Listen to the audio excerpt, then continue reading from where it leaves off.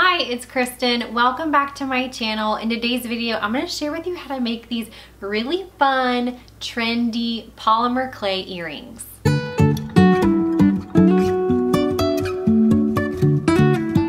Like I said, my name is Kristen and I'm a homeschooling mother of four young children and on my channel I love to share about our homeschooling journey as well as other passions of mine such as DIY projects, home design, cleaning videos. I throw in a few day in the life videos every now and again as well as some healthy recipe ideas. If you're new here, I would love it if you would hit the subscribe button and stick around. So you've probably seen these really cute polymer clay earrings. They're just popping up all over the place on Instagram and social media. And um, I figured out how to make them. It's really, really simple. You don't really need that many special tools to make them. Uh, just the polymer clay that you get from your local craft store. And then just something that you can roll it out with and cut it with. And so all the tools and things that I used, I'll make sure to link down in the description below. But I'm gonna show you uh, a handful of different styles that you can make. Obviously the sky's the limit with color choices and things like that. I wanted to give you a lot of different options for shapes and designs as well as I'm gonna teach you how to make a cheetah print clay earring and just some different shapes that are super fun and on trend. So let's get right into the video.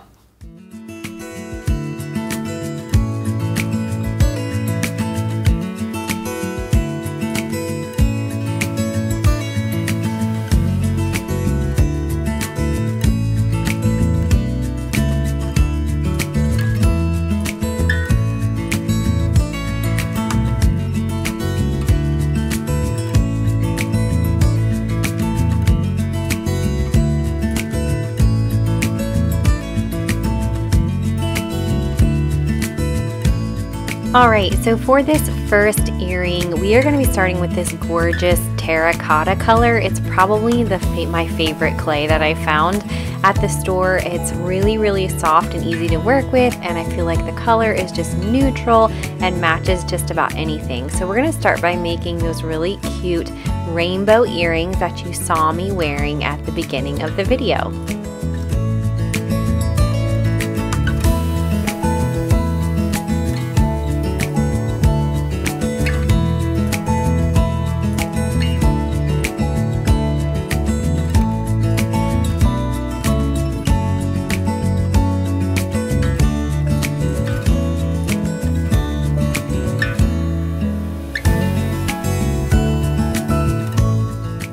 Will notice that the clay is very forgiving and I've really found that that makes uh, this process just really enjoyable because if you mess up, all you do is just kind of smush it back together and try again. It's really no big deal. You'll also notice that the earrings are not perfect. There might be little dings here and there or someplace where my nail hit it or something and um, and of course they're not perfectly matched because I'm just a human making these. It's not a machine. Uh, but I kind of feel like that's part of the neatness of it. It's unique. It's handmade. People are really into that these days and I personally love the imperfections.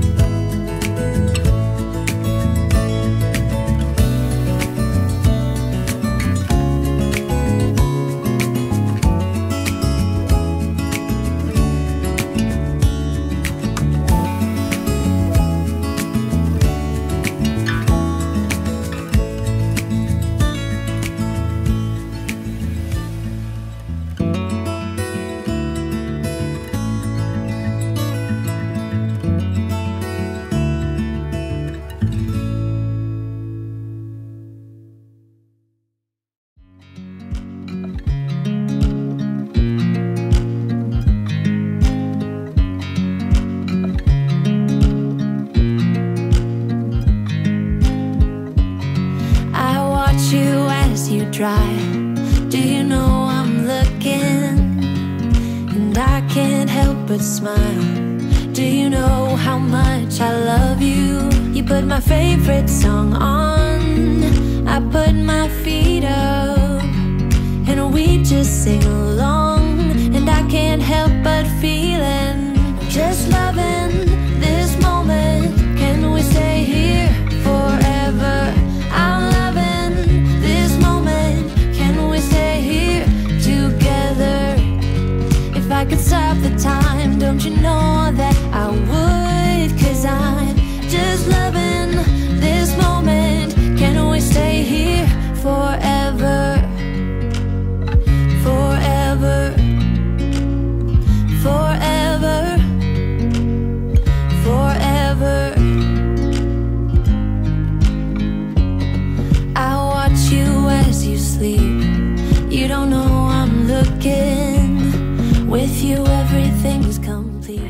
And don't hate on my super professional cutting tools. As you'll notice, I do have a few like official clay cutting tools, but for the most part, I just use random lids or medicine um, measuring cups from my kids, and um, it works. You know, I'm able to get the job done without spending a lot of money on different clay cutters.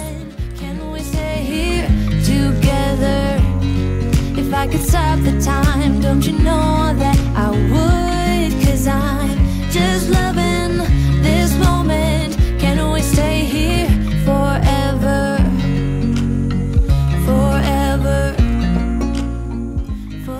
For this cheetah print earring, I went with kind of a larger cheetah print. Um, you can control that by just how tiny the flecks are of the brown and the black that you put onto the white clay.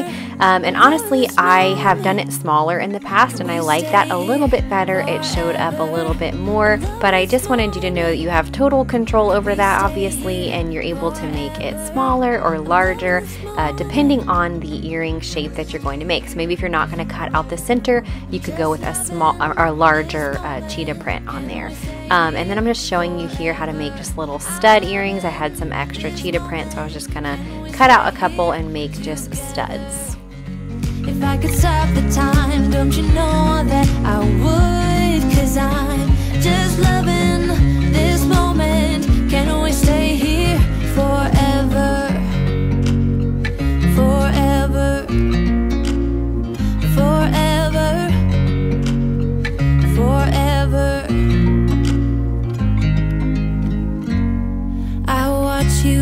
you drive. Do you know I'm looking?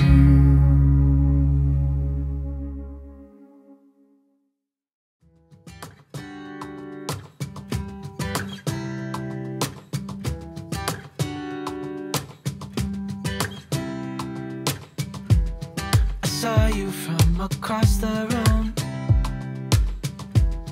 When our eyes met,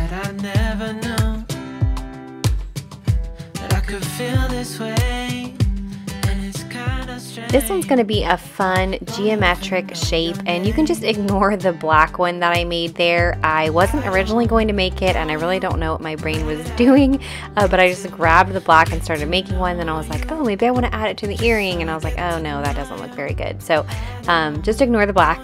but um, this is a fun little kind of like ombre, nod to an ombre, uh, geometric one. I was trying to figure out what um, how I wanted to hang them here. So I was like, oh, I can do it this way. So there's lots and lots of choices and options. So definitely just get creative and do what you like. Also, a little tip for when you go to cut the holes in your earrings to be able to hang them with jump rings to you know connect them together. Um, make sure that the tool that you're using is big enough for you to fit your jump rings through. So I'm using the seven millimeter jump rings, and as you can see, I was using a tiny little cutter from the little kit that I have. So I'll link that down below in the description. Um, but it would really be unfortunate to go through all this work in making these gorgeous earrings and then not poke the holes large enough because once you bake the clay, there's really nothing you can do about it, and the holes are there, and you you know maybe wouldn't be able to fit your jump rings in there, and that'd be a shame. So just make sure that the um, holes are big enough for your jump rings. I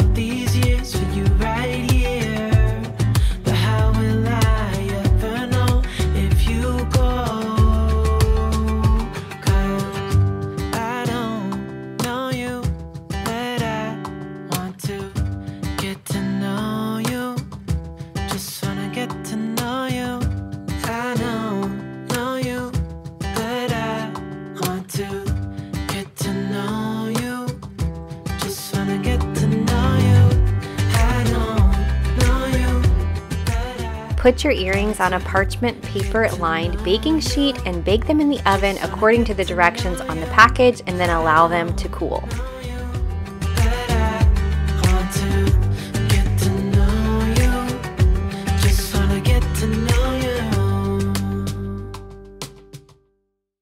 Once your earrings are cool, it's time to assemble them with the jump rings. And once again, don't be jealous of my amazing tools.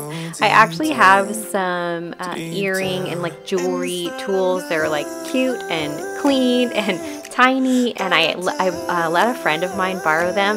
And so um, I just decided to make this video kind of on a whim. And I was like, oh no, I don't have my tools. So I'm using my husband's tools so you can make it work. You don't have to go out and buy anything fancy for this. Um, even if you just have some old rusted pliers or whatever these are, um, it will work.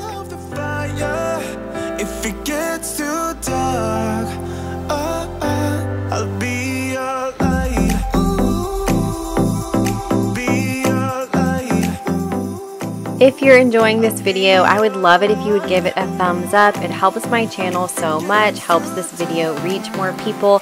I worked really hard on putting this together and I hope it inspires you to make some earrings for yourself. I got together with some of my girlfriends and we had a girls' night where we made earrings and it was such a blast. So I hope you enjoy. Yeah,